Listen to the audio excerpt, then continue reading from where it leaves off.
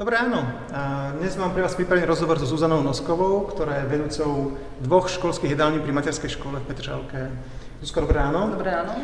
Aká je úloha vedúcej školskej jedálne, prosím? Školská jedálenie je súčasťou materskej školy a mojou úlohou ako vedúcej školskej jedálne je zabezpečiť bezproblémový chod školskej kuchyne to sa týka písania jedálnych lístkov, uh-huh. následne objednávanie tovaru, prevzatie tovaru samozrejme aj v spolupráci so zamestnancami uh-huh. školskej kuchyne, kuchyne a aby boli dodržiavané všetky teda tiež predpisy pri príprave stravy, aby všetko bolo v poriadku a deti dostali včas a kvalitné, dobré čerstvé jedlo na tanier. Jasné. Ako prebieha zostavovanie jedálneho lístka?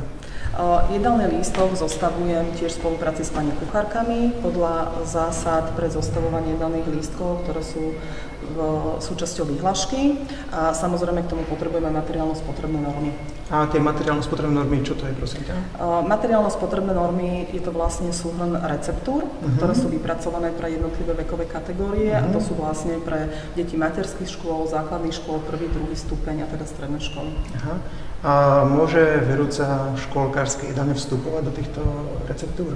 Uh, áno, nielen vedúca teda školských jedální pri materských školách, ale celkovo teraz sa bavíme za Slovensko, že teda, že školské zariadenia stravovací majú možnosť vstupovať do týchto materiálno-spotrebných mm-hmm. noriem a to tým, že môžu dávať vlastné návrhy, teda nejakých vlastných receptúr, v prípade tie, ktoré sa bola kedysi vlastne varievali a už nie sú v platnosti a teda boli ako fajn deti mali rady. Mm-hmm. Postupuje sa to vlastne komisii, ktorá to má na starosti a potom následne po teda odsúhlasení sa teda tieto normy môžu od 1. septembra pripojiť k tým normám, receptúram, ktoré sú materiálno spotrebných normách. Dobre. Ako prebieha obstarávanie, alebo ako, ako si zháňate suroviny do jedálne?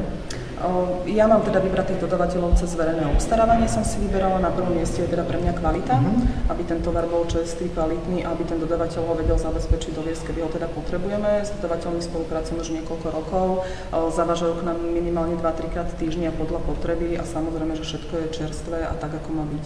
Výborne, ďakujem pekne za rozhovor a prajem ešte pekný deň. Ďakujem, pekný deň aj vám.